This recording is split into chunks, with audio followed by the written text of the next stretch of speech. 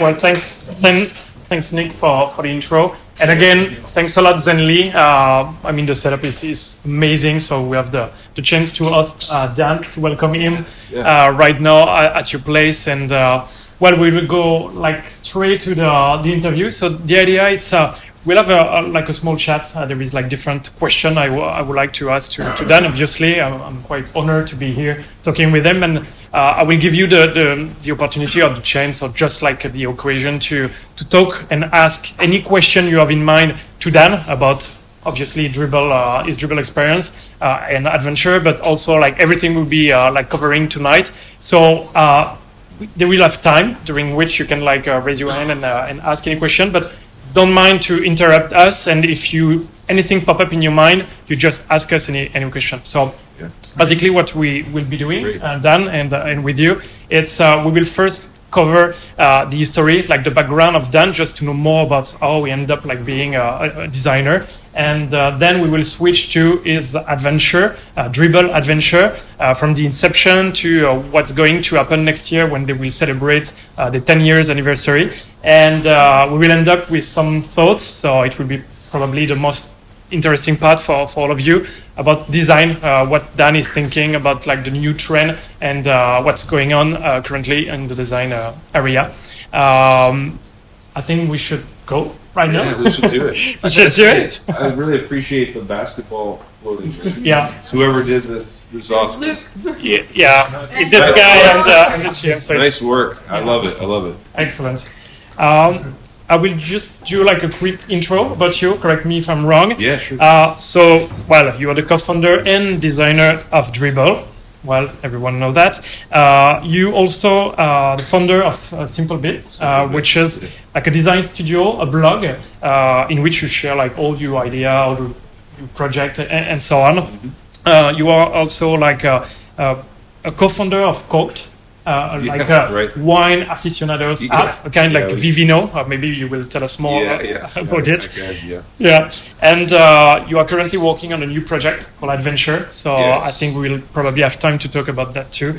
Uh, so you you're like a long time advocate of, uh, of standard-based web design. You are a keynote speaker. You were at .css this afternoon um, doing a talk. Uh, you work at several like big companies like uh, YouTube, Microsoft, uh, Google, MTV, ESPN, and so on and so on. The list is, is pretty amazing. So I hope we'll have time to cover that up. Uh, you also write books. I don't know. You find all the time to do that. Actually, you, you wrote five books. So I don't know who, by raising hands, who actually read some books of them. No, okay, Yeah, a and, uh, just okay. Yeah, well, Well, you get a prize. um, and I learned that you are right now living in Salem, uh, Massachusetts. Mhm. So it's like north of, uh, of Boston. Boston. Uh, just maybe as a starter, are you from here? Are you from the area, or you moved to, to Salem? Oh, oh, I was born in Massachusetts and then Okay. grew up in Vermont, Yeah. actually. Um, and uh, Verdemont. Verdemont is uh, Green Mountains in French. So anyway, there's a French connection. Yeah. Um, and uh, and then grew up and lived in the Boston area for for uh, the last you know 25 years or whatever. So okay. New England has been home Okay. uh, cool. all along. So, Yeah. yeah. And uh, I also learned that you have two kids. Uh, last Yes. week was Halloween. Yeah. I guess in Salem is quite like Oh, it's big. crazy. Uh, I don't know. You know probably the witches like story or Yeah, which right. there is anything Well, special at Halloween. Well, it's funny because uh, so uh, Salem in 1692, apparently witches were hung, yeah. Uh, nine of them, and uh, and now it's become this. It's turned Salem into this Halloween capital of the U.S. and that's where everyone goes in October, and it's like a tourist thing. Okay. Uh, but I real I realize like in Europe here, I mean, I think that happened a lot. You know, Yeah. they're like uh, I don't know how many witches were burned or hung. I know it's many more than nine. That we did. So for for whatever reason, it's super famous in the U.S., even though it's probably not particularly. Uh, anyway, we Okay. I could go Yeah. on and on about Yeah. the witchcraft. If you, Okay, but yeah, we, we should switch to something Yeah. like more like professional. Yes. Um, uh, I would like to know more about your your background. Uh, where and what did you study? Uh, how do you end up like being a, a designer? Can you tell us yeah, more about yeah. it? Well, it's interesting because I uh, I was a musician. Uh, I mean, I still play, but um, that's all I wanted to do was play music when I was younger, and you know, from the age of eight onward, really um, played drums and eventually moved to guitar and, uh, and other things. But um, that was the focus um, throughout my you know high school age and and then I went. I did go to. I, go, I went to college, Emerson College in Boston, for a year. They had an audio program there. And I thought I could link the two, and I, I left. I dropped out um, and did a, a one year uh, school for music recording specifically, um, and then left that and and uh, thought I'd work in music studios or whatever, and, and realized that the hours are terrible and I can't stay up past you know midnight without. Uh, so so anyway, it, all this happened right when the web was really just starting to to gain momentum, and I had a um, had a really bad job at uh, a record label called Rounder Records in Cambridge, Massachusetts, and um, it, it was a warehouse job for minimum wage. Uh, it was like five dollars an hour, I think. And I, I worked my way up to a desk that had Windows 3.1 machine. Anybody anybody use Windows 3.1 in here? Hey, all right. Hey, Yeah. so- You're not alone. more than I, more than I figured. It. It's amazing. Um, and it was connected to the to the internet, and I Okay. because I couldn't afford it at home. But I was like amazed. And uh, a friend of mine, I was in a band, and a friend made us a website, and I could kind of watch how he did it, and I was just, I was just bitten. I just I wanted to uh, to learn everything about that, and it was for me, it was like a way of being creative You know. by myself at home and um, I just I just fell in love with the web and just wanted to learn everything I, I could about it. But at this time, did you were you thinking about like a potential career in this area? Or not at all. It was just like a, Right. pastime and a hobby. Yeah, I mean, uh, maybe not initially, but pretty quickly I realized I have I'm not going to be a rock star. Um, and I probably I'm not going to go on tour with somebody or whatever. I, I need to make money. I was like getting I was about to get married, and I um, and yeah, I mean honestly, like there was so much happening uh, with with the web, and there was so many opportunities, um, jobs, and I I was starting at ground zero, and I didn't know anything about. So you learn like design by yourself, or or do you end up like Yeah. like starting your designer career? Yeah, that's the beginning of it. Well, it's it's funny because I throughout my whole childhood I, I was interested in design, and it was all a lot of it was through interests I had like skateboarding. You know, when I was younger, and I loved like the branding of skateboards and stickers and Yeah, t-shirts. t-shirts and like and I and I I didn't think about creating it myself because I, I thought only certain people could do that right I, I didn't know it was possible for me to even do that um, and then it was like you know music packaging and you know making seven inch records with the bands I was in and the, the, the artwork that went into that. I was really into that. Um, and it wasn't until the web that kind of like it it pulled all these things together and it kind of made me realize oh I can this is how this stuff's made. I can I can do this as well. Or even making web pages to me Yeah. it was like creating something like a record cover that the whole world could see though and not just you know five people at a dingy club whatever. So it, t- it did take the web to me for me to realize that I was a designer all along I just didn't Okay. really you have realize the it. spark or the, the flame. Yeah, it was. It was like the, the, the big bang for me there. Okay. And um, but uh, so I thank the web for for, Yeah, for for doing that. that yeah, because I remember I looked. I would notice fonts and things when I was a kid, and um, I just didn't know what. I, unfortunately, I didn't have someone or something to shake me and say, "Look, this is." It's, Design, like, Yeah. this is like a thing you can Oh, do. and. Yeah, yeah. So it took it took a while. I was a late late bloomer with design, but Okay. And so, what is the the link between this like beginning of thoughts about like studying or starting to to design to uh, working for the biggest tech companies uh, all the one I said, and YouTube, Microsoft, uh, MTV, ESPN, uh, even Blogger, Fast Company. Well, the list is so so long. So, Yeah. What is the, the, the link between you starting to feel like a designer or acting or being a designer Yeah. and like real work to these companies?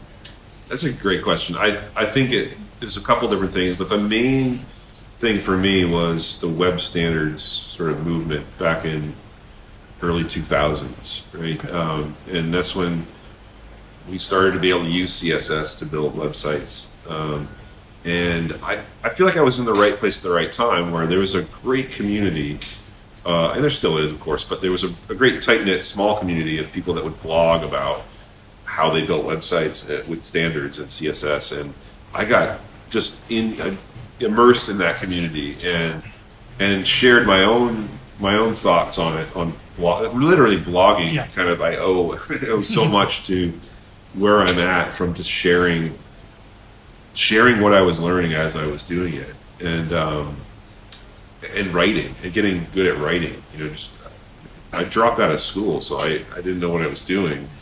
Um, I still don't. Really. I really don't. So, I, but, But it was um, something like natural. You you just like yeah, learn and improve your yourself and your skills and uh, I think I like to.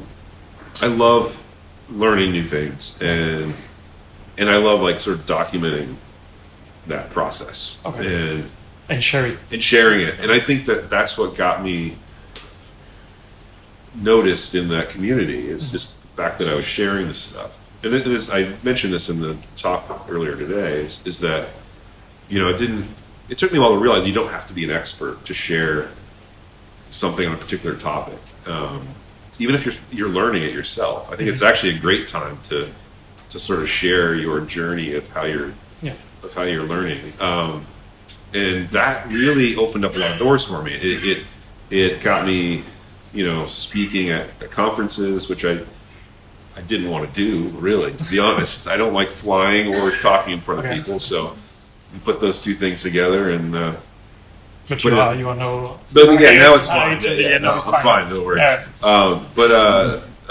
But what make you? What was the like the, the, the thing in your head? You say, okay, I want to do it. I'm gonna do it. It's uh, like I okay, uh, someone asked me to, to talk at the conference, or I have this potential contract with uh, I don't know YouTube. Okay, go for it. Yeah, I mean, it was this sort of momentum for me. I, I, I, I just there were so many companies then that were just getting into web standards, and and their teams were were still building sites with tables and spacer gifs. Yeah. Uh, hopefully, who, who who created a website with tables before? Yeah, so a fair amount of you, right? So, um, in some ways, it was easier back then, I think, but. Um, but so there, were, there was a ton of, of room for freelancers like myself that would could come in and help them transfer to a better way, Yeah. which is you know CSS.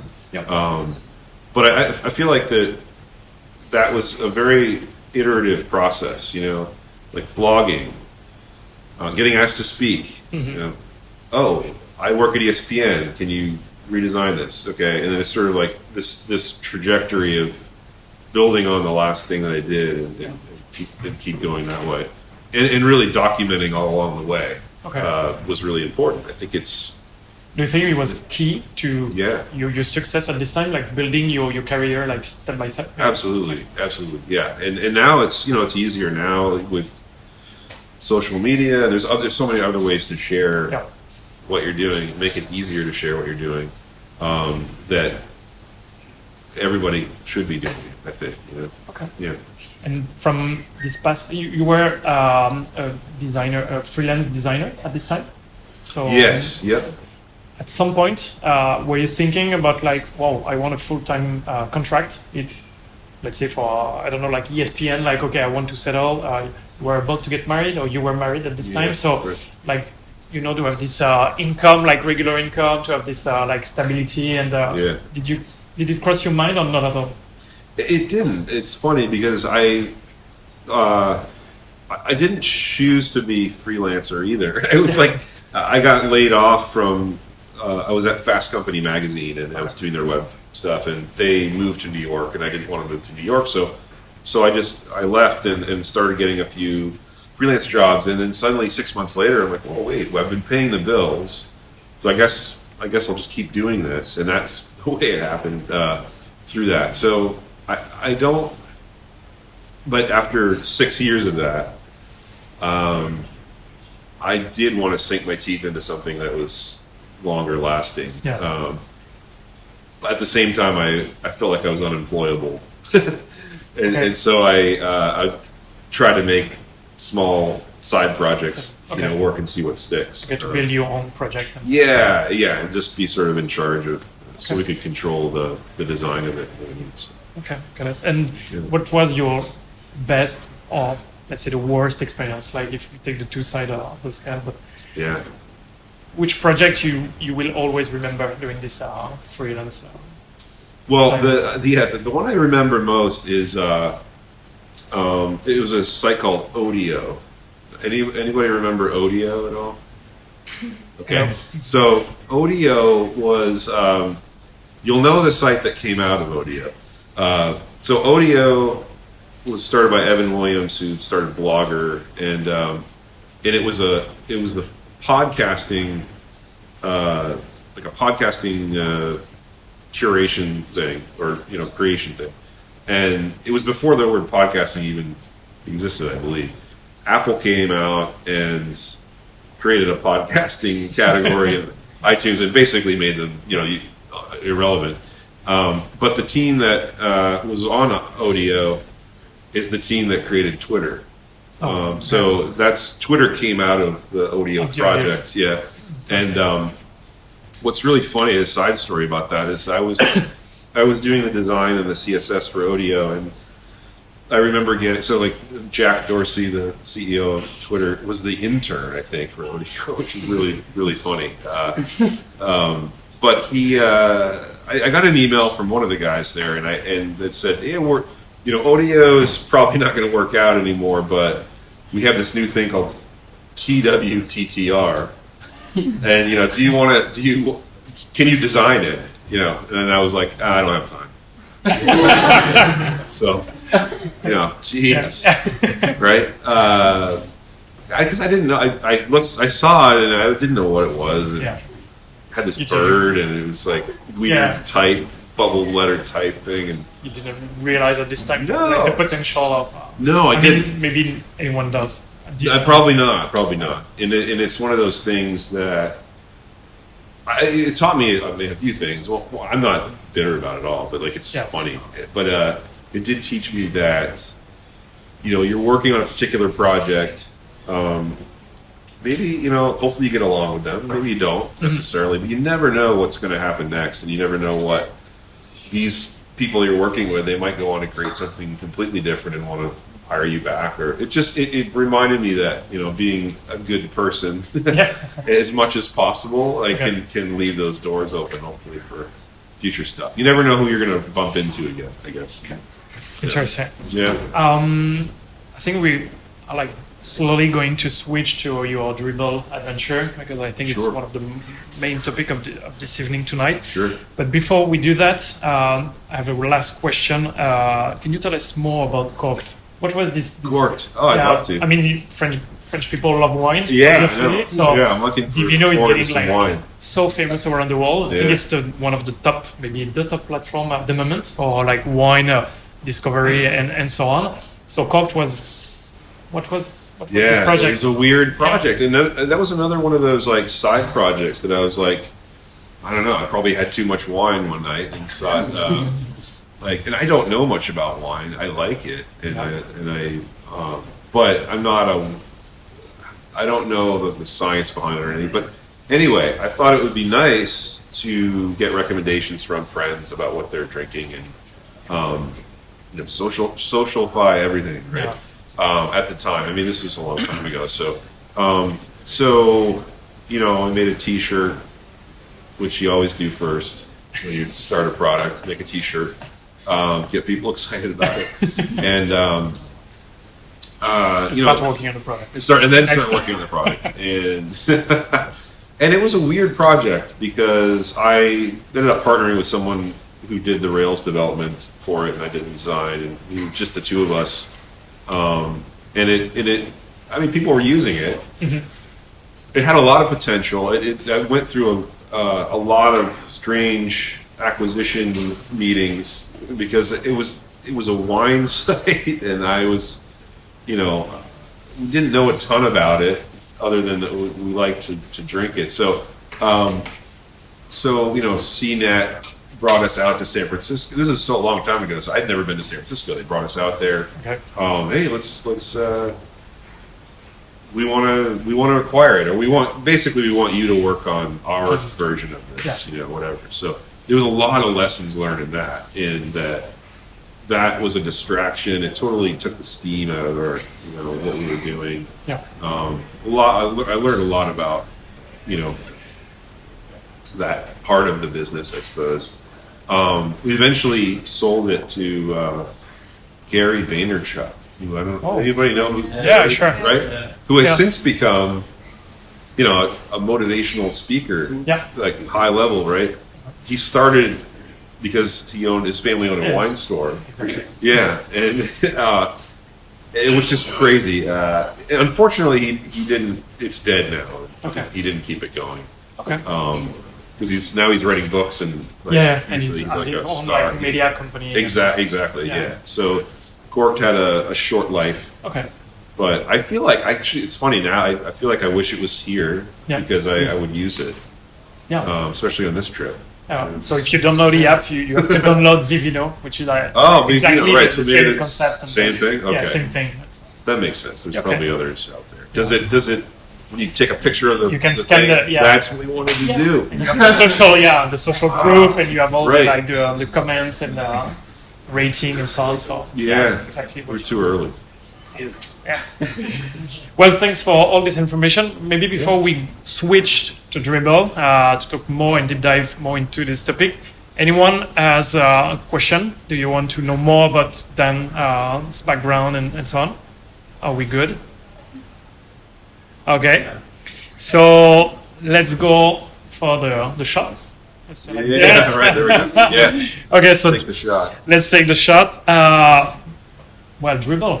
I think I have- don't have to say much more about this. Uh, you and um, Rich Thornett, Yes, Rich right? Yeah, yeah. Rich Thornett. Yep. You conceived dribbble like nearly a decade ago. It was Yeah. I wrote it back. It's uh, 9th of July, 2009. Hey, right. Long time ago, yeah. Your uh, research. Long time ago. Yeah, so you, you- next summer will be ten years. exactly. Yeah. Yeah. So a big, big milestone. Yeah. Uh, first, uh, first of all, uh, how did you met with Rich?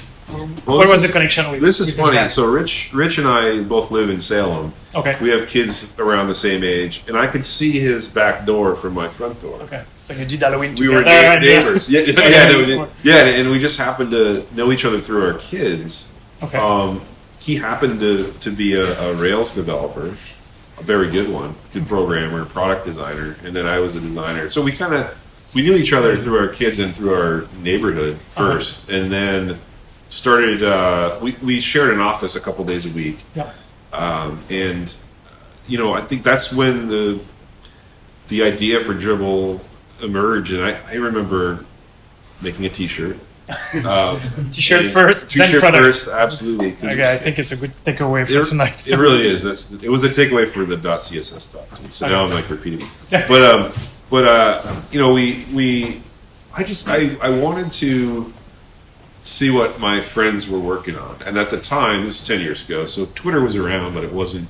that, that big or that popular. it- yeah, it wasn't as big. wasn't Yeah. and, and uh, Instagram wasn't. Flickr was around. That Okay. was the thing we could kind of point to. Yeah. But um, I wanted to see what people were working on. Like, I wish I could look over the shoulder of of people that I admired and people I would see only at conferences. Like, what are you working? That would be the first thing I would ask them. Like, what are you working on right now? So I thought, hey, it'd be cool if there was a site to do this, and you could take a little snippet of what you're doing, and s- uh, screenshot, and and show what you're doing. And yeah, like a way to stay in touch with all the designer from your community, but yeah, without having time to spend like the proper like meeting one on one with everyone. So. Exactly. Yeah, exactly. And because oftentimes their portfolio was out of date. You know, Yeah. it was like that always took time to update it. And it wasn't. It wasn't showing like, you know, what are you doing now? Like, what? You, what's your latest thing that you're doing? Um, so that was the that was the idea. And I, you know, I turned to Rich and it's like, let's do this. And he's like, yeah, okay, I'll set up a Rails app and we'll we'll start building it. No business plan or, Yeah, or sure. any plan really. I mean, it was it was a side project. Um, For fun, or you, were yeah, like thinking fun. about okay, we can do business later, but don't, we don't care I don't too even much. You know, it's funny. Initially, I don't think we thought about business. I mean, I, mean, I guess the, of Maybe course later, yeah, later sure. on, but Yeah. but initially it was just we wanted to we wanted to build something together, Uh-huh. and that was that that kind of won as the idea, and um, and the name, you know, there we had three B's because triple with two B's dot com was taken, so Oh. we just added a B. you know, that's what you do. Just- Mm-hmm. It's easy to do that. So, So no link with like the, the, the dribble like many times. So you say okay, we should put like as much B as we can. Yeah, well, I always thought like when you draw it, this is why the logo is cursive, but I, Yeah. I feel like I was kind of inspired by Kleenex. I don't know if they have them here in, in Yeah, France. sure. The Kleenex box, the, the Kleenex logo is like Yep. is cursive and it's like clean. You know, there's a lot of loops and it looks cool. And I, I was we were drawing dribble and cursive and. Yeah. And I'm like, you can you can draw a lot of bees and it still looks like the word. You Yeah. just don't even you kind of ignore the loops Yeah. after a while. So that, and I was like, this works. This works great. We have to do it in cursive, though. Um, and uh, yeah. So anyway, we we And why maybe You- why dribbble? What, Oh, what was the well, name? you Was know, it's- your idea or Rich idea? Like it, it was because there is but- all the link with basketball. Uh, yeah, yeah, that's right. So so it was. I came up with a name, and and because the idea was bounce ideas off of each other, Yeah. and and also the double meaning of like leak your work. So dribble like like Okay. you know like I could dribble here, uh, but, um, or leak. Yeah, it's kind of kind of a weird one, but so there's two there's kind of two meanings there. Um, but the basketball made sense to sort of, and then you know, all of a sudden we have oh wow, we can use all this terminology. I mean, Sure. you probably went too far, but but you know, because Yeah, if, you, if you hate Yeah. basketball, you're probably Yeah. not going to like. Uh, but but um, there's there's certain terminology that just kind of works Yeah. with with uh, with the app, but that that came later. And so what what was the like your your job or your mission at the, at the time during like the first moment you were so on your in your house or in this office like working on the, the first version of Dribbble what were you exactly doing uh, were you in charge of design and, and reach just like product uh, like engineering or, or, or did it work Yeah, I mean that's that's pretty much it. I think um, we we wore all the hats that there were Yeah. at that time. I yeah, I handled all the front end and, and design and and we split on everything else and and um, you know I, I, it was interesting because I feel like the first we, we, we chose fifty to hundred people to invite to the site initially. Yeah. and these were people that either knew or admired or you know I really thought they were great designers and I selfishly just wanted to see what they would upload Yeah. and what they were working on. So we sent them a T-shirt again T-shirt. yeah and a handwritten code to get into the beta and uh, Oh. and mailed it and Okay. physically mailed it. And I feel like that T-shirt guilted them into actually checking it out. Yeah. Rather than saying, "Oh, that's great," you know, yeah it's clever. good luck. You know, Yeah. So, um, and then what happened was these are very accomplished visual designers that we sent these to, and they were the first people to upload uh, work to the site, and, and immediately it was like, oh, this is com- this is really compelling. Like seeing all this, being able to like quickly see what people are doing visually, like, and easily digest that quickly, was like, wow, okay, this is this is what this is what we should chase here, because we weren't sure if people would just. Well, what am I working on? Well, I'm writing an email. So here's like a little piece of the email, which would be terrible.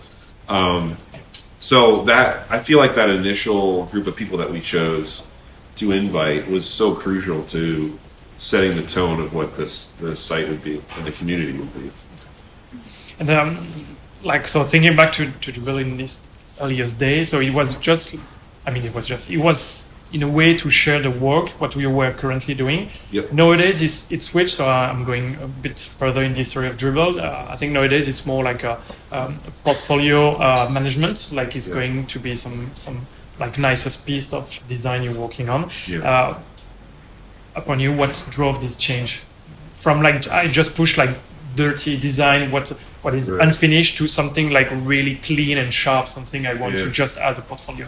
Yeah, I think it was um, just observing how people were using the site, and I think you know initially it was it was probably meant to be more casual or you know not un- unfinished, but that's not the way people use it as a whole. They, they were putting their best foot forward, Yeah. and pretty quickly it was it was we realized that this is this is how people are using it, and we kind of just observed and would pave the cow paths, as they say, right? Just watching the community use the site and then try to adapt to those with UI or whatever that that helps helps uh, helps that. So it really was the community that drove that. Um, that's not to say that people don't still share unfinished things. I think it's one of those challenges that we have, the team has now, is to because that stuff's really interesting, right? We want to mm-hmm. get more of that process in in place because that's fascinating and it Yeah. tells the story better. Mm-hmm. So, and that's something that the team's working on. I mean, they've been working on it, but Okay. um, so we're exploring different ideas of how to do that. Okay, yeah, to, to keep this like basic idea of sharing work in progress and not just yeah, like not just the sh- the shiny finished Yeah. product exactly. Okay. Yeah. I, I have a- another question, but maybe Yeah. someone in the audience will, will ask because there, there is like an ongoing debate uh, with Yeah. the art versus the design, but I will Sure, keep it sure. for later. Yeah, yeah. Um, there is something also like really fascinating about uh, the growth uh, at Dribbble. It's it was always, I think it still is. I'm not sure. You will correct me, but it's an invite only um, like platform. Uh, it is, yeah. and well, many companies are doing that at the early time. So they, they just like invite the, the beta tester or even alpha tester. And uh, in the future, when they, they, they're trying to reach growth, they just like open the, Right. open the door and let everyone uh, come in. So Yeah. why did you choose this idea? I mean, understand at the beginning, but why you keep Yeah. this, uh, this thing?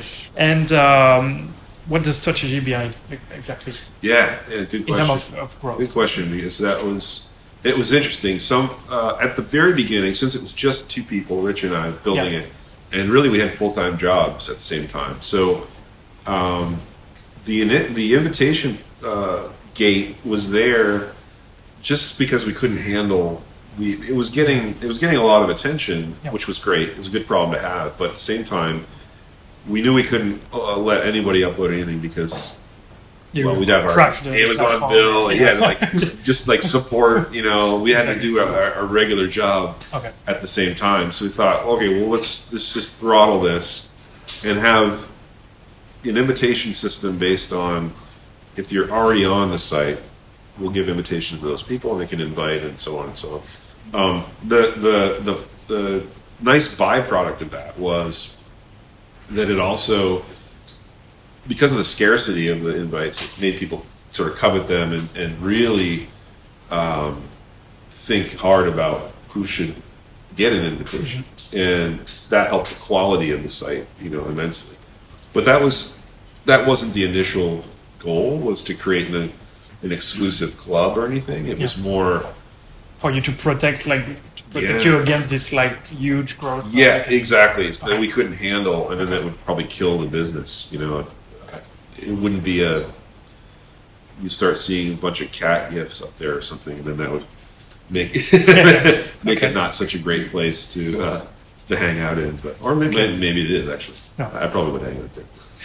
Um, And so where when did the does this did the switch happen from you being like a like a side side project uh, co-founder to Yeah. like a full time uh, co-founder Dribbble? Uh, Yeah, I mean, it took a while. It, honestly, like we we took it very slow, Yeah. and that's probably weird to hear, or or against a lot of other. like Business. common pattern or at the moment like Yeah. everything needs to be like really fast like you Yeah. ship fast you grow fast you need to- Exactly, exactly, and that was that's it was sort of the anti San Francisco model Yeah. of like we're just going to take it slow because we a we don't want to screw this up. I mean, I, I think initially, right off the bat, there was a very vibrant community that we really cared about, and we still do. And I think that's that's the core of what it is. It's the mm-hmm. community, it's the people, and and we wanted to we wanted to protect those people and not screw it up, you know. And I think that's really the goal going forward. Is like we just don't want to mess this thing up, and it's really easy to mess up these Yeah. things. Uh, uh, and I mean, we do occasionally slip up, and there's things blow up, and it seems like the end of the world on Twitter, and then and then, And the, and then the next day it's fine. Yeah. Uh, this is actually this is how the U.S. is currently operating, but um, so. Um, but we, we got the reference, I guess. Oh yeah, I hope so. Yeah. Uh, um, but uh, yeah, so so invitations yeah. Okay. weren't. I, I, I wish I could say like yeah, it was a grand plan from the beginning. Like Yeah. always do invitations, and, but it really was just for for scaling. Okay. You know. Got it. And um, you, you talk a little bit about uh, this like vibrant and uh, well-engaged community. Uh, so she, it was driving the, the let's say the product roadmap. It uh, involved a lot of like you thinking about what uh, gonna what needs to be Yes. developed Yeah, next. yeah, for sure. There is also something interesting about the Dribbble community. I think you like all aware. It's the uh, like the non-official meetup or the like Yeah, uh, yeah. savage. I don't know if savage is the right time, but the way that meetup are organized all around the world, but you are Yeah. not really like managing it. I mean, it's Right. not from your team like uh, launching this this meetup. So Right, right. can you just like uh, tell us more about this and the way it started to, to pop up all around Yeah, this uh, like yeah. designer meetups? Yeah, it was amazing. I, I and it still amazes me that that happened, and it happened really early on. You know, we just like, hey, we want to we want to throw a meetup in you know Singapore or something. We're like, jeez, I don't even I don't even know where that is. You know? like I kind of do, but um, but it was incredible because they would they would be self uh, self organizing, and I think to have a to have a community that, that cares that much about it, want to get together, um, is is was amazing. We're super fortunate about that. So over over the years, we've tried to just foster that and you know give them give them a place to to advertise the meetup, and we send them swag and all that stuff. And there's so much more we could do there. And I know. that 10 years in it seems like we should have done more at this point but we, we really are focusing on on growing those even more Yeah. and and, and uh, because they're it's amazing that they happen uh, there's one in I think it's Russia um, Moscow that has you know a thousand people that show up and then it's like Whoa. a conference It's you know, yeah. like a full-blown conference okay. and it's a dribbble thing I don't it's just bizarre that it happened they sent us photos so I guess it happened but Yeah. um, So you didn't see that like uh, like event in a bad way. It was for you. It was like okay, driving the, the growth of your companies. Or Yeah, yeah. Well, that's a good point. Like, I guess you know you could have looked at it like, hey, wait, we control the brand. Why, Yeah. why are you? Mhm. Why are you uh, talking about us. Yeah, yeah. And we we never felt that way. It was more like, wow, we were flattered that Yeah. that people were getting together. It's like, okay, well, what can we do? Like, we're bootstrapped and we're we're a small team, but what can we do to help you? Mhm. And oftentimes it was like, send us some shirts, or you know, send us some send us some swag to give out. And so we started doing that, and and uh, and then you know, um, give us a place to host the host the uh, the, the meetup pages, and so we did that. And, but there's so much more we could do. I think we need if we had people on the ground from the team that could go to more meetups um, to help. Yeah. You know, that would be amazing. And so we've started to do events called hang times, and uh, we do those twice a year now. And those are like legitimate events where we have speakers and get the whole team together and all that kind of thing. But but the meetups still happen. You know, Yeah. they still they still self organize all around the place. Cool. Um, you talk. Uh, let's talk about maybe the, the team because it's something also like unusual uh, from Dribbble. It's the Yeah. entire team is remote Yes, yes, uh, from the beginning. Yeah, from the beginning. Yeah, Uh, I guess. maybe- well, I guess when it was Rich and I, we had a we were It was not yeah. but yeah, from the beginning. from yeah. the beginning. You yeah, remote, and yeah, how many yeah. people at the moment are you? There's uh, there's like 50 people now. 50 people, Yeah, okay. yep, yep. And uh, so, what was the like the thinking or the decision behind this? It was just like as you said uh, about the, the growth, like you want to, to keep it simple and easy to Yeah. to um, to manage, or it was something behind that in terms of Yeah. strategy. I, I think that a couple things. I think one, we we didn't know what we were doing in terms of like managing a company. Yeah. So that was one reason why things moved slowly for us. I think we were we like we, we were kind of control freaks, but at the same time didn't really know how to grow, and that's why it took us so long to you know to slow growth.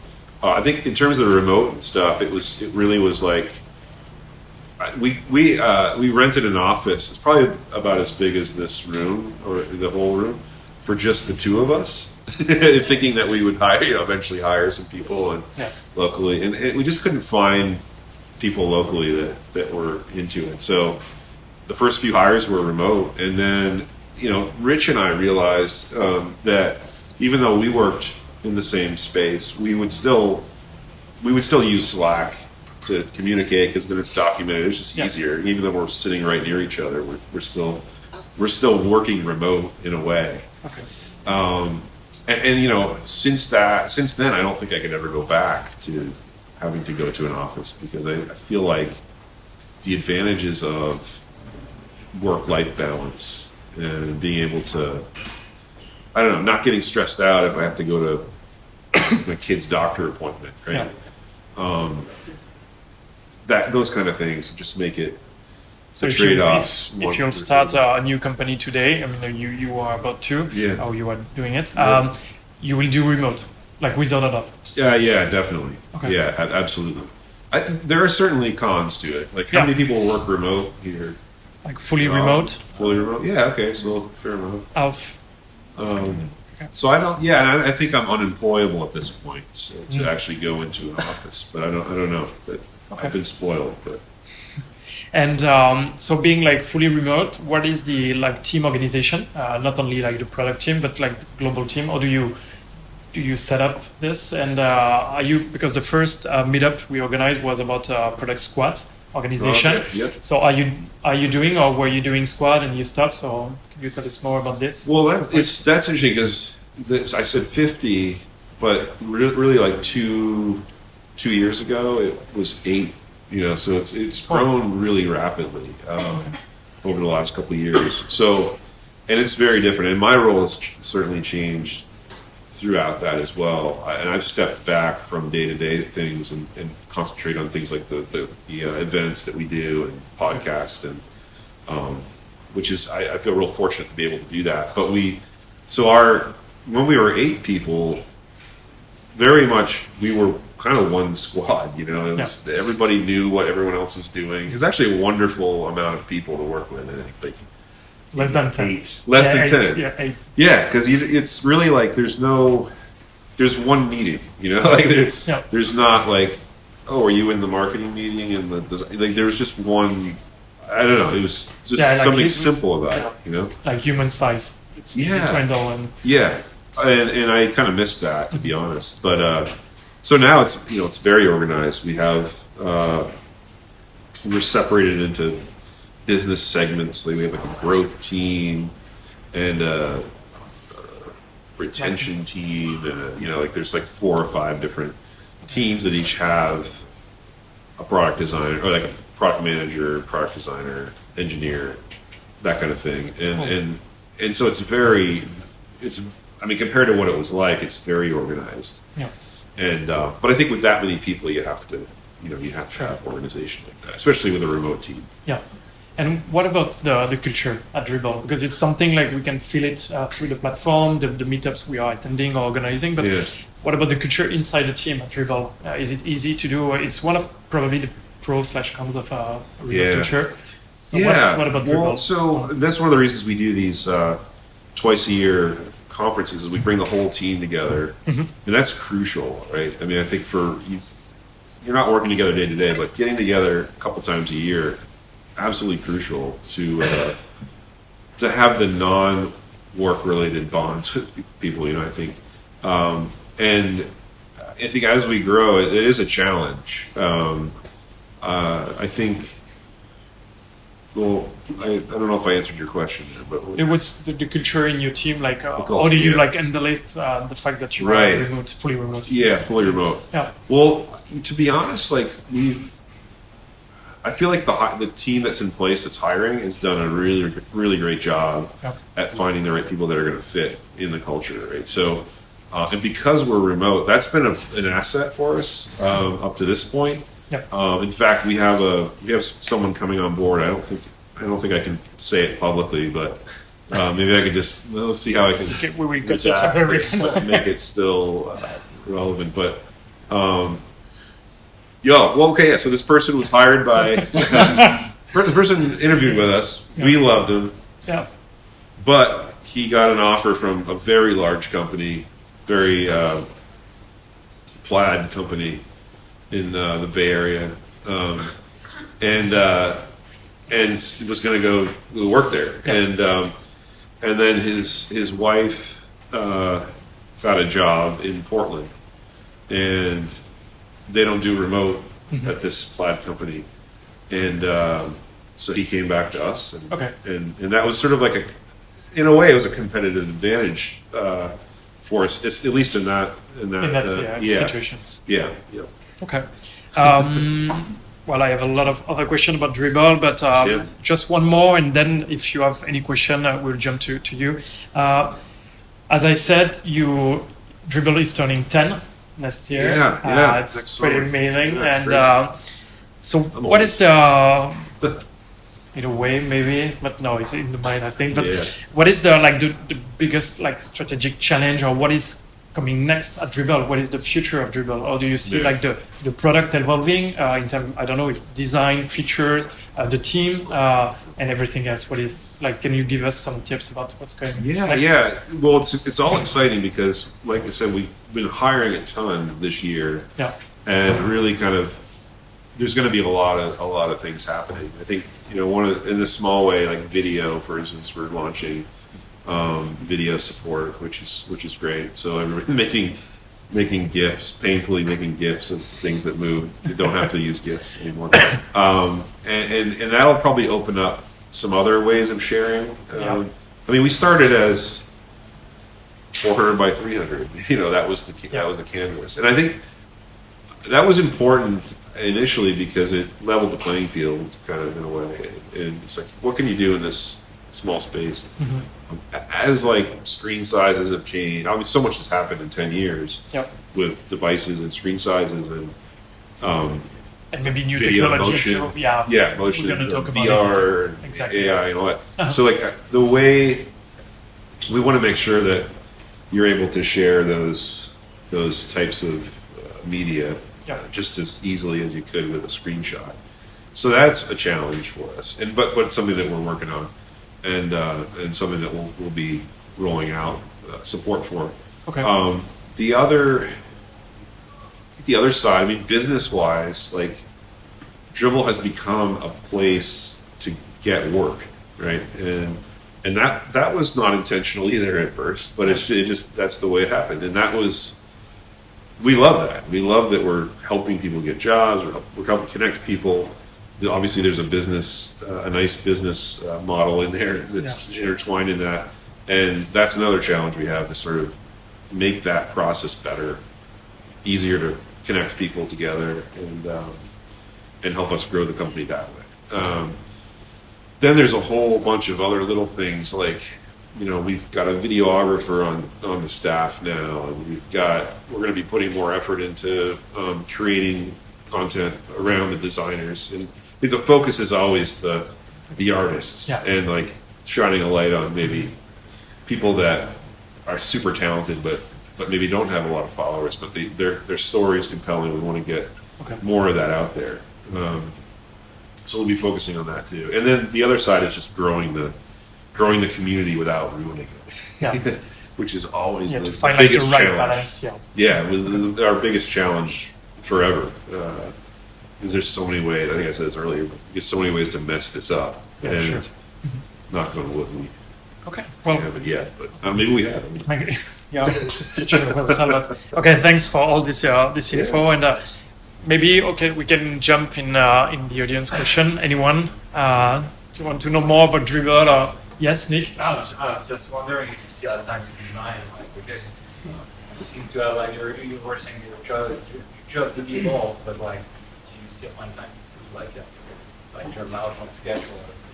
Yeah, yeah, yeah. I, that's a good question. I because that's what I really love, and I don't. I don't love. I'm a terrible manager and a terrible business person. I think Uh, just awful.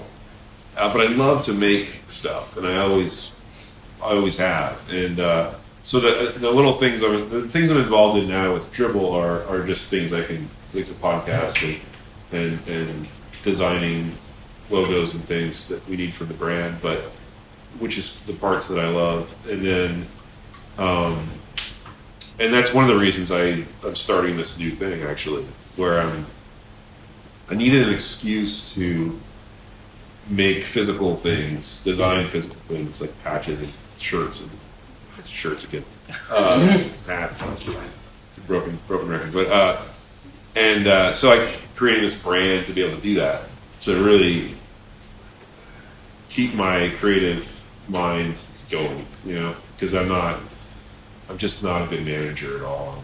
It took me a long time to realize that, and it was kind of painful to be honest. It's sort of like a here's something I can't do, you know, and I think learning like what you're good at and what you enjoy doing is is important, and sometimes it takes a long time to get there, but.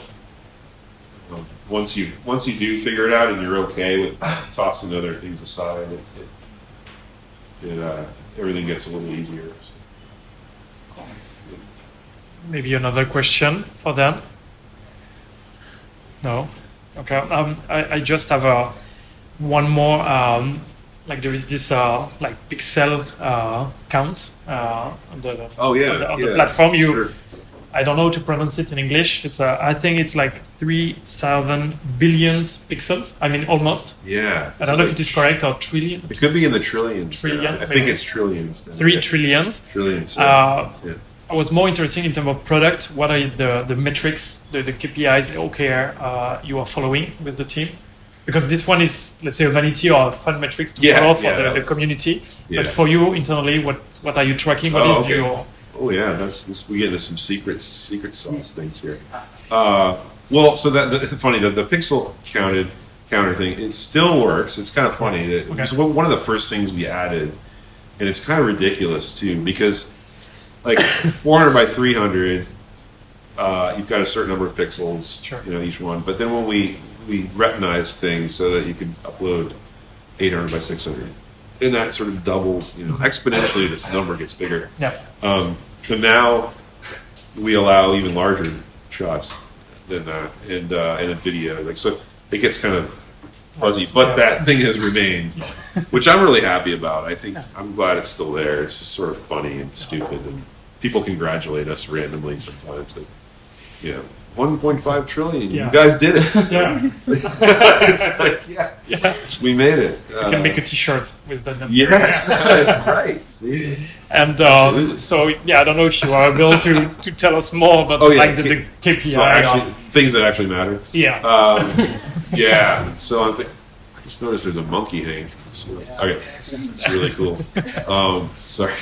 Uh, so uh, not trying to distract.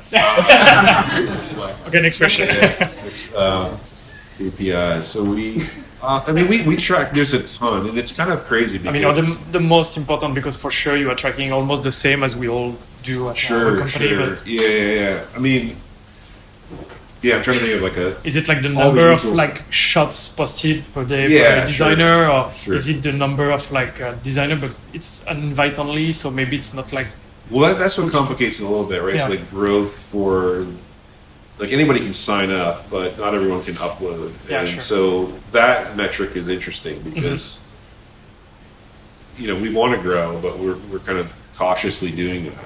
Yeah. Um, I'm trying to think of like ones that are interesting that aren't the norm that everyone else Yeah. is, is monitoring um, specific to to dribbble. I mean, to be honest, like we have we have two people now on staff that only worry about this stuff. Now. So like that's why I don't even know. I don't even really know. They Okay. they're like uh, amazing. They're just taking all the data and and and and telling us crunch it for you. crunch, oh, crunch it and run tests, and, Yep. and it's kind of amazing. So, yeah, that didn't help anybody here. Yeah. Hire someone smart that knows how to crunch data. Okay, so we will stick to the, Yeah, the yeah. pixel uh, pixel Well, account. that, that one, yeah, that one's. Um, okay, if you don't have any question, we will switch to the third and uh, almost last part. Uh, are you still okay, guys? Yeah.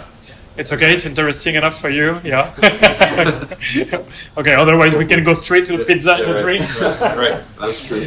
Um, yeah. So the next part is uh, like it's open. Uh, it's a totally open question. It's about your thought on the on product design. Yes. Um, it's a bit like uh, it's a it's a mess. I think there is like no special order. But first, um, what will be the, the best advice for a young designer? The, the one, the, the, the fresh designer, like starting or still learning design, uh, about to join startups or bigger groups. What is for you the, the main or the best advice you can give them Yeah, with I- all your experience? Yeah, I would I would say uh, you know writing, uh, which may sound odd, but um, I feel like writing and documenting like what your what your process is and what you're learning. It certainly helped me immensely. It opened doors that Yeah. I didn't know could be there, um, and I, I feel like also writing is just the way we communicate as a team and, and the way we communicate in, in the interface. So like writing, I feel like the more writing you can do, the better. Okay. Um, and Any support in particular, like a medium blog post or Yeah. blog post or yeah, just sharing however you can. I think Okay. you know back when I started, it was blogging. It was like Yeah. that was the only way that we communicated as a community. Um, but that's the way I learned. I learned from all everyone else, and they Mhm. maybe learned from me as well. And I think that that that is evergreen in terms of you know, yeah, put it on put it put it on Medium. You don't have to be an expert in Yeah. these things to to be able to write uh, your experience about a certain certain thing. So in, in that direction, you think like being part of the, the designer community, the, your local uh, designer community, or maybe the wider, like uh, all like worldwide, you think it's really important? Like someone who is not really like confident enough to share his work, uh, and do you think this person should do the the, the, the step to, to share his work, even if it is not so good, in his opinion? Or, or Yeah, no, I think so. I think you, I think even if it's if you think the work is mediocre, I think if you're still learning, I think it's still valuable to to to explain that. yeah, You know, and you could explain like, yeah, this is a this is supposed to be a picture of a frog, and I know it doesn't look like a frog. What am I doing wrong? Or, you know, I don't know. That was a Yeah. terrible example, but you know, I should have used monkey. But like, I, yeah. I think. no, but that- frog is French. Is Oh yeah. Oh. The, the Oh, what is it? English are calling us a frog. Oh, that's right. Yeah, See, it's even worse. I saw. I did not use that. It's okay. It's okay. Oh my Have- god. You, you will I don't have, know, why did I will have no extra slice wrong. of pizza. It's okay. Okay. Oh my goodness. like it's good. It's Well, good. what, I, what I mean, let's take another. Yeah. What's the Monkey. monkey? Monkey would be good. Uh, you know, like I feel. Jeez, I get kicked out of here. Um, You was I feel like I feel like uh, yeah. I think no matter what level you're at in Yeah. your design learning, I, I think that sharing that. I feel like there's not there shouldn't be this. Hey, I'm I'm just starting, so I have nothing I can offer to the world in terms of um, my process or what I know.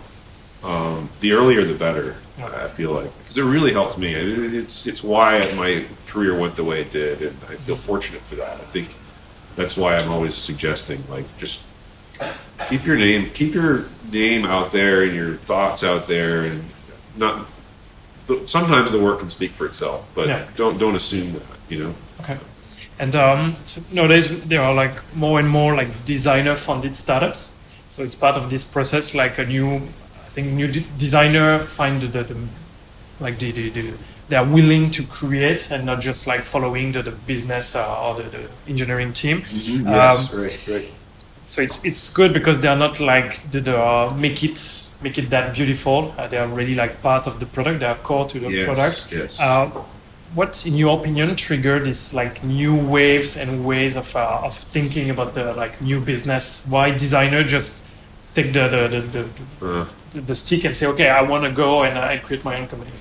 Do you have any That's thoughts on interesting. that? Well, yeah. So, like, why are there more design design founders and Yeah, And what then design is why- getting like so Yeah. not so trendy, but like core to to any yeah, product. yeah, they finally have a seat at the table, right? Exactly, I yeah. think. Um, yeah, what did trigger that? That's a really interesting question. Um, I'm sure glad it did happen, but uh, um, I think, you know, I think people eventually people realize non-designers, I suppose, the value of what good design can bring to something. Yeah.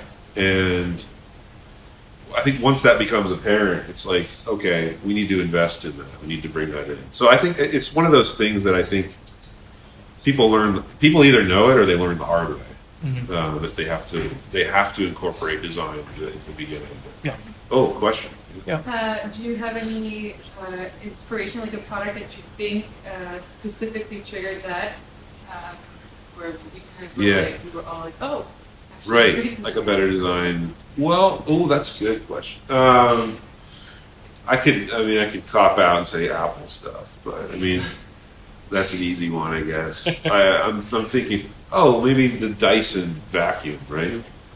Um, or the the air. There's one in the bathroom. Go check it out. It's the air blade thing. Yeah. Um, that to me, like that's that's wonderful because it's it's like it's very unsexy to design a vacuum, right? But they did that and they made it function better. Not only function better, And but just the whole experience. Nice looking. And, Yeah, and I think that's happening across different. I have this toothbrush now. It's uh, Quip. Anybody use Quip? Just raise a hand. Raise a Quip. who is Yeah. brushing his teeth? It's like a weirdest thing Yeah. to have to call Yeah. out, right? Like, I don't want to tell you what toothbrush that is. I understand. It's fun. We'll talk, yeah. Now, now we're you know we're friends. So, uh, but yeah, it's a similar thing where it's it works really well and it's designed really well, and someone took the time to put effort into that. And you then you can look at it like mattress companies online, all the stuff you can buy online that's like very targeted to good design. Um, yeah, I mean the business for people that don't care about design right now, that but they do care about money and business. they eventually they're going to catch on to that, Yeah.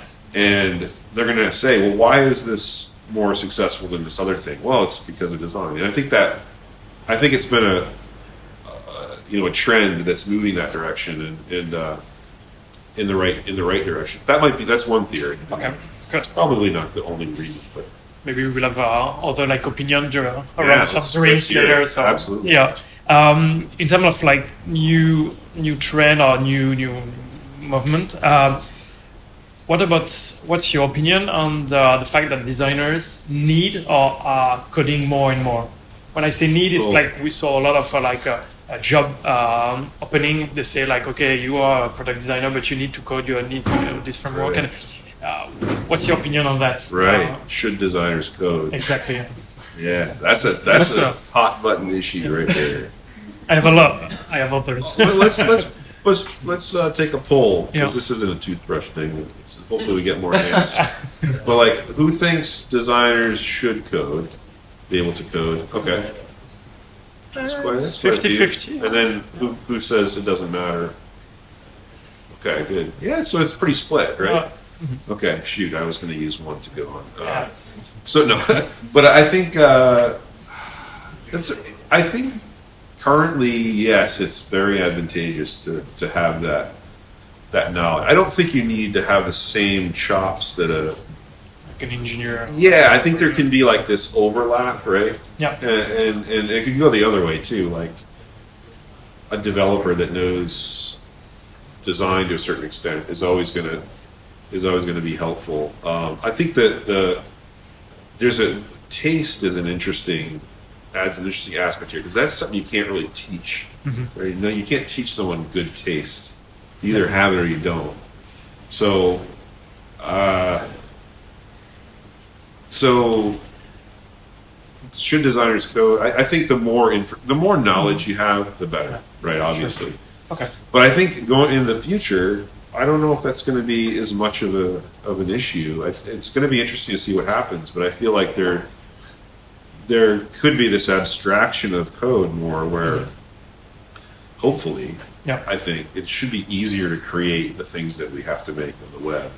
I feel. I mean, it's just it's kind of crazy. A lot of startups are into this uh, this topic, like trying to, to build from blocks, uh, trying to like n- without uh, coding knowledge, you Yeah. can create your own uh, Yeah. project and product. Right, which which I, I think if you're a programmer or a developer, you're you're probably like, ah, that's terrible. Like Yeah. But I think for the general public and trying to can we get more people to be able to build Mhm. things that are solid uh, with code underneath it solid? You know, I, I, I think we're headed in that direction. There, Yeah. all the design tools that are happening. There's a lot of interesting things going on there. Okay. Um, I, yeah, I think that uh, hopefully we'll be coding less in general. Yeah. Maybe.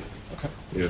And talking about the future, what do you see? Um, which is the link for you between this new like uh, technology raising like AI, uh, blockchain, uh, VR, uh, all these new new waves? Uh, what is the link with design? How it will uh, impact the design or the new needs for Yeah. the designers? Well, I, I mean, wow, it opens up so much.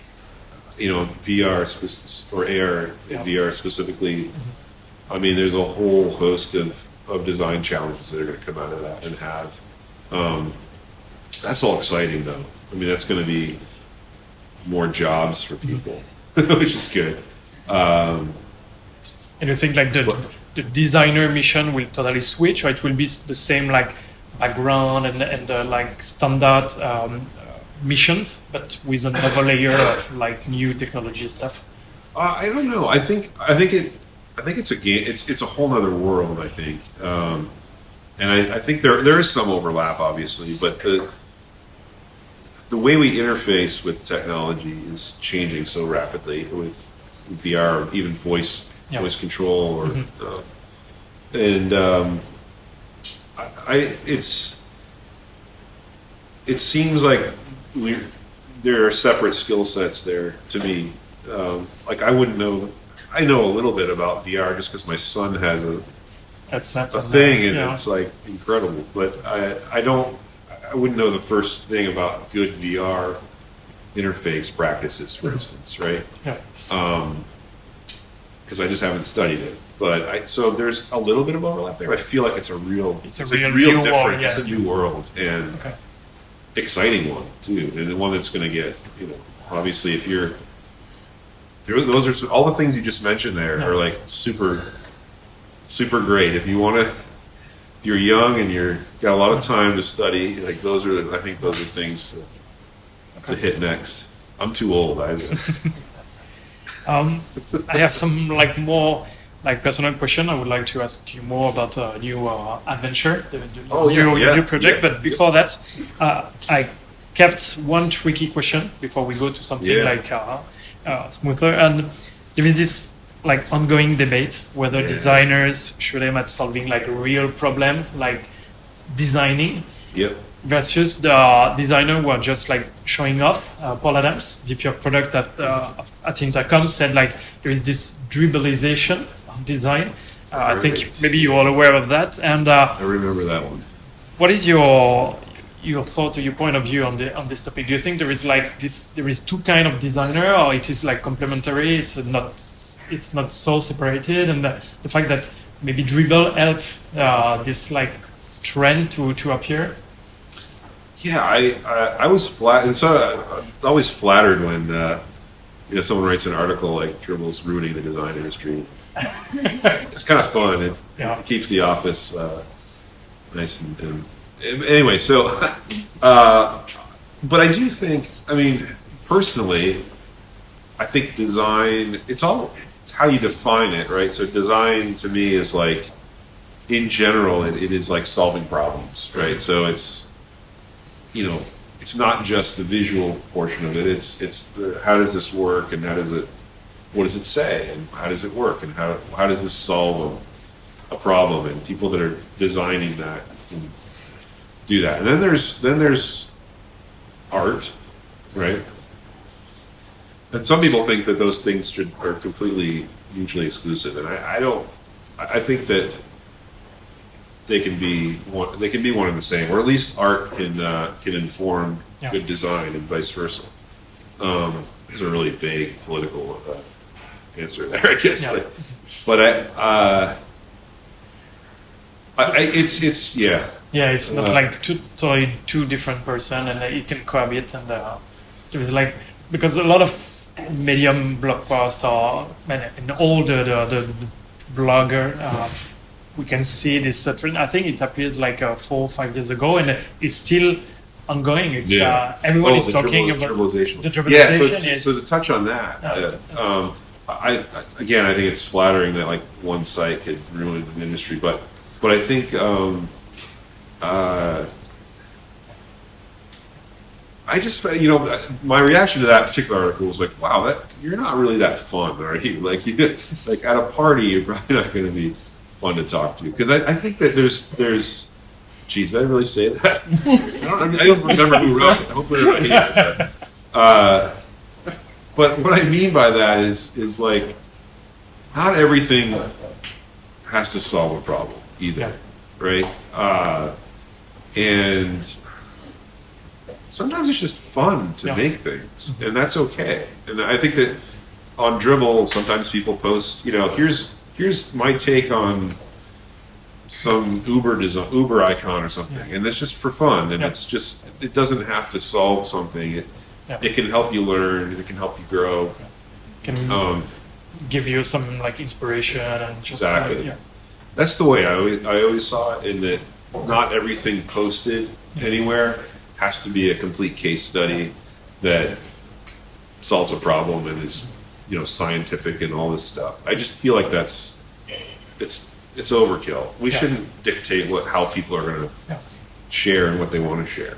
So, Um, yeah, totally. And then Yeah. many designers were saying that, uh, like it's the plat- it's a like a platform. It's a social media, so you use it the way you want. So if you, you want to post this kind of like design Yeah. or another one, it's it's up to you. So well, exactly, and I think that we no like guidelines on, on Dribbble to say okay, ask to solve a problem Yeah. in particular. Yep, and I think Dribbble, you know, it's easy to look at one page and say, ah, Dribbble is all this style, and it, Mm-hmm. it's much like Twitter. It's like sort of how you use it, who you follow, yeah, and how you use it, Yeah. and it's different for different people. Sure. You know, and so, um, yeah, some people post fun stuff. Some people post things that are actual like problem-solving Yeah. things, and some of them don't. some of them don't, and Yeah. that's fine. Yeah. And I, I think it's it is what you make. It is what you make of it. Okay, good. Someone has a yeah. Maybe it's related to what you said actually. Do you remove content from Dribbble at all? Oh, do we remove content? Uh, yes. So, so, yeah. Sometimes. I mean, if it's if it's we have some some rules about some things. Obviously, like if it's It's graphically insensitive or you know like Yeah. it, it gets taken down immediately. We also have like a flagging system where if it's flagged a certain number of times, it automatically goes away for uh, review. You know, um, but you know that's gotten into us in into some arguments. You know, with people. I mean, politically charged stuff, for instance. yeah. Um, I can think of one instance where this is interesting. So somebody created a list. You, you can do lists on Dribbble of lists of designers to follow. Someone created a list of Trump supporters, designers that were Trump supporters, and like it was basically like don't hire and tweeted like don't hire these people, you know, and and. I'm going to be delicate about this. Uh, I, mean, I guess I'm in France, right? So, Yeah. so, you know, the problem was it's one of the per- one of the people on the list contacted support for Dribbble and said, "Look, uh, I'm on this weird list. I don't know why I'm on it, and I'm not a Trump supporter. And now people are telling me to, not to work, not to work with me." So we took down the list, and when we took down the list, you know, it opened up this whole, you know, Dribbble supports Trump and hates is racist and Dribbble is terrible and it's like I mean I hate Trump, but I but I don't I don't uh is that okay to say here? Probably. Yeah, yeah, yeah. Trump. Thank God. Not- wait, of course it's okay to say. Yeah. Uh, I you know you have to kind of separate your personal opinions from something else. The reason we took it down is because this person said, "Hey, look, I'm on this list and I'm getting like blacklisted for reasons I don't know." So obviously she's using the she the person was using the list as a way to in a way that it wasn't designed to in sort of a malicious way. Um, and uh, that, that that was a tough that was a tough day because we got a lot of flack for for taking that list down because it was like it, the, it, it opened up a lot of arguments about well hey you took that down but you didn't take this shot down from five years ago that's you know so it, it, it's it's tough it's a tough tough thing to balance tough thing to manage a community i think And do you try have, to do the right thing always but do you have people on your team like dedicated to this? Uh, we this do work? yeah we do yeah we have a good support team that Okay. has to handle a lot of stuff like this. Um, and there's a lot of, you know, things will creep in and we're, you know, but we have a community that's very vigilant and will tell us immediately when something's out there that they don't think should be up. So, yeah, it was a good question. It's, Do you have another question? Yeah. I do have a, a tough and weird question about product design. Uh, does someone once gave you an advice on designing uh, that just blew out your mind? oh, it's a good, it's a good one. I, I should be. Um, I'm trying to think. Uh,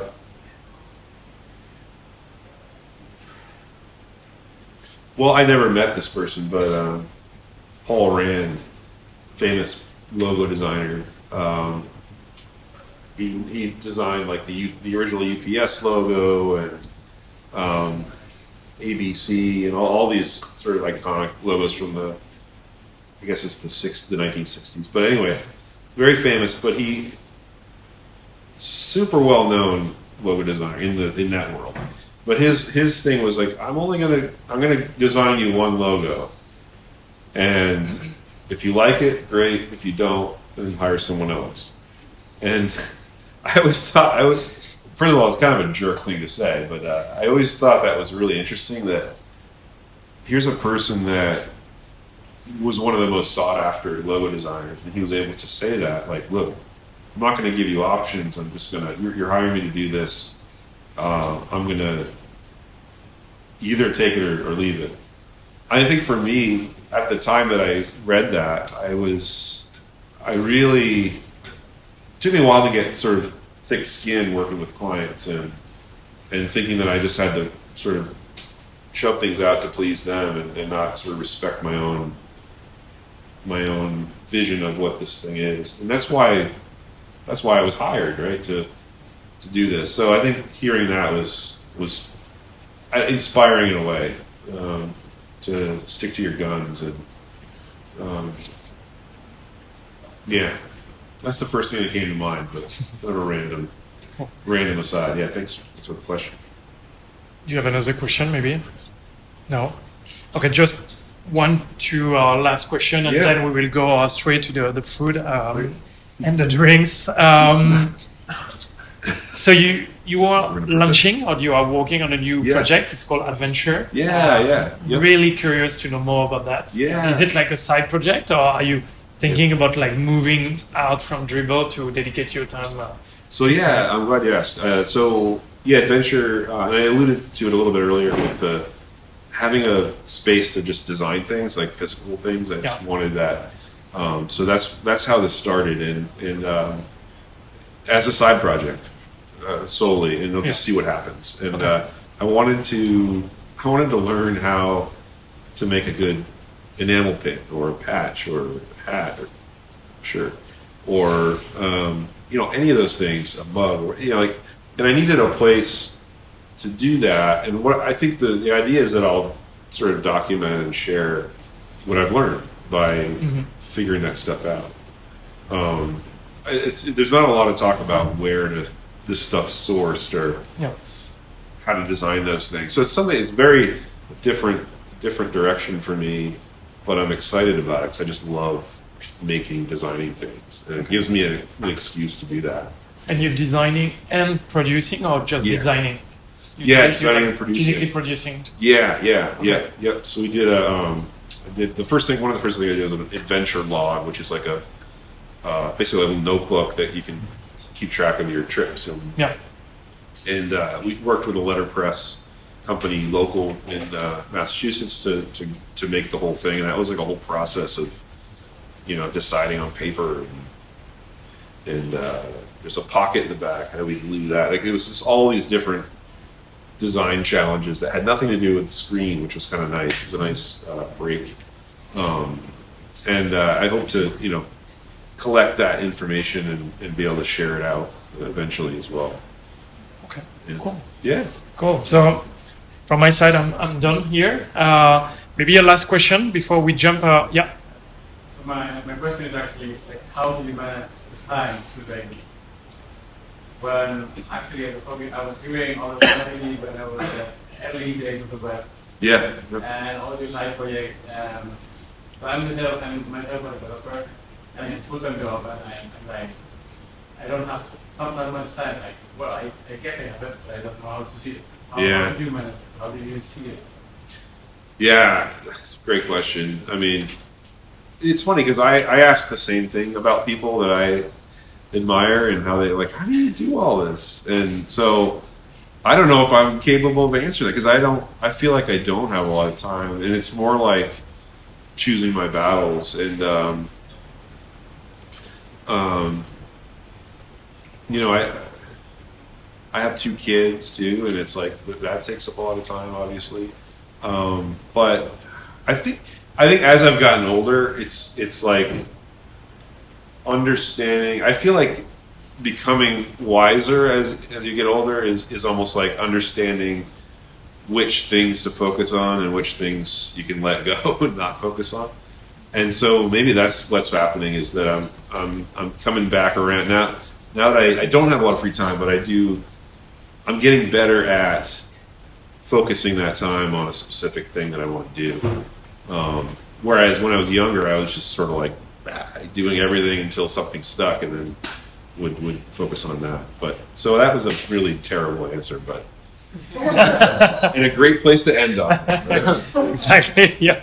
Uh, maybe another question. Yeah. Hey. Yeah, I was wondering, like, what in your mind, like, how, how in your mind, uh, Dribbble did like change the design community, or what, like, what, what, what is in your mind, like, sort of main things that you brought to the community? Yeah. Um, well, it depends on who you ask. So, some, for some of it's that we ruined the design community, but uh, apart from that. But I think um, you know I, I'm very I'm very proud of how we've been able to shine a spotlight on on some talent that that might not have gotten a spotlight, and I, I feel most proud about that with with Dribbble and just the, the people that I've met through the site, and it's been it's been amazing, and the amount of talent that's out there is incredible. And I know some people, we hear from some people that they've, you know, it's made their career because they've gotten a ton of work through Dribbble, and that was that was the the moment that they started, you know, being able to go freelance or whatever, and I, that just that makes me feel good. Um, and I don't know if we're changing the the community at all there, but we're certainly help, hopefully helping, you know, designers get noticed and, and get hired. And I think that's become the core mission of the of the site here. Yeah, thank you. An extra question? No, no one. Well, I think it's time to thanks Dan and uh, give him a, a huge round of applause. Hey.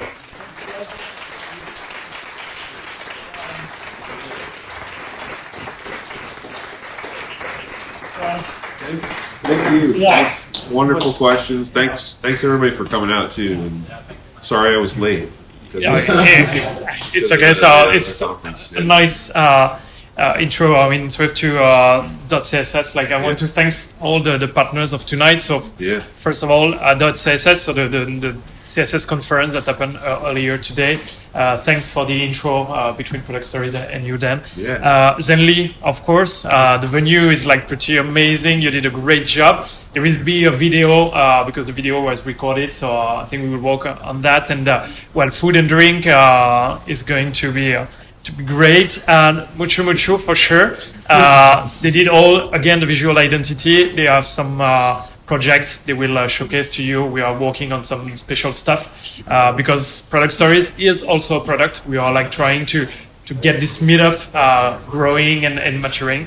Um, about the next meetup. So as you know, for now, uh, every month with Laure and Arnaud, we're organizing a meetup.